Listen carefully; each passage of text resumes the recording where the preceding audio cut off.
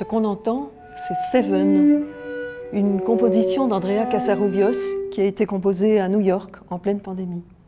Seven, c'est le couvre-feu de 7 heures, c'est le moment où on rend hommage aux soignants du Covid, mais aussi aux morts du Covid. Donc c'est à la fois une création et un rite commémoratif. Le rite et la création ont en commun d'être des paris jetés sur l'efficacité d'une forme qu'on considère comme ayant fait ses preuves dans le passé. Cette forme est investie d'une force symbolique qui tient aux émotions et aux valeurs qu'une communauté leur accorde. Ce livre étudie les liens entre rite et création. Alors il est né lui aussi pendant la pandémie, mais il est le fruit d'un très long travail préparatoire de plusieurs années.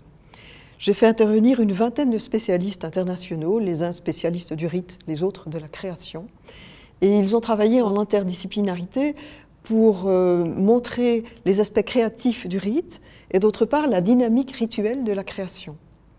Et en couverture, nous avons choisi une œuvre qui est conservée ici au musée L. C'est Anna de Didier Mailleux.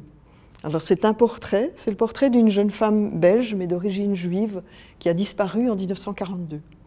Et Didier Mailleux a reconstitué son portrait au départ d'une déposition de police.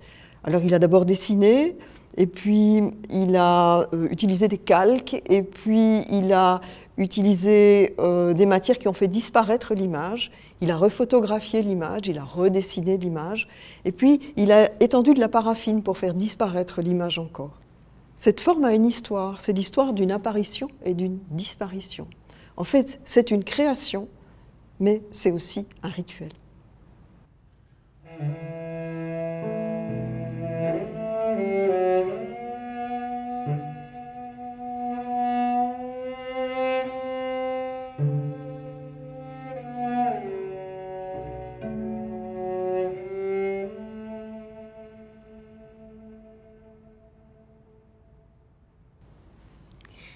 Donc ce livre, au fil de ces 400 pages, aborde la manière dont les rites, qui sont porteurs d'identité, mais qui sont aussi euh, des éléments qui favorisent le sens de la communauté, peuvent influer sur la création.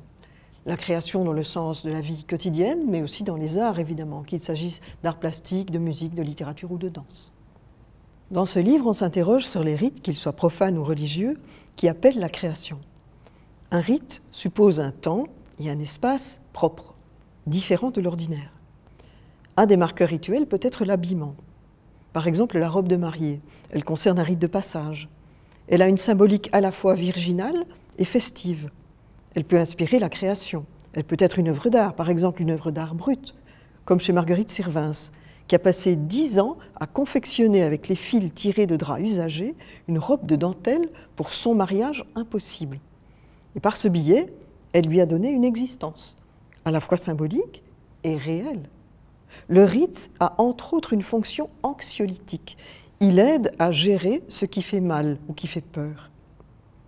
Toutes les créatures vivantes organisent leur vie sociale par des rites, mais l'être humain est le seul qui invente ces rites, qui en crée de nouveaux. Par exemple, la cérémonie d'investiture du président de la République. Il faut s'inventer une ritualité en s'appuyant sur des symboles tirés de l'histoire nationale d'une part et des codes de mise en scène médiatique d'autre part parce que ce sont les deux ancrages d'identité que le candidat élu doit s'approprier aujourd'hui pour devenir le représentant de la nation entière et pas seulement de son parti. L'évolution des technologies fait évoluer les pratiques rituelles de manière créative. Pensons à Internet. Et par ailleurs, la création génère des ritualités, car créer, c'est d'abord créer les conditions de la création. C'est vrai de la création intellectuelle comme de toute pratique artistique. Alors, dans un entretien, le romancier Yannick Enel évoque ainsi les rites comme processus de mise en disponibilité de soi pour l'écriture, mais aussi comme organisation de l'espace sociétal de la littérature.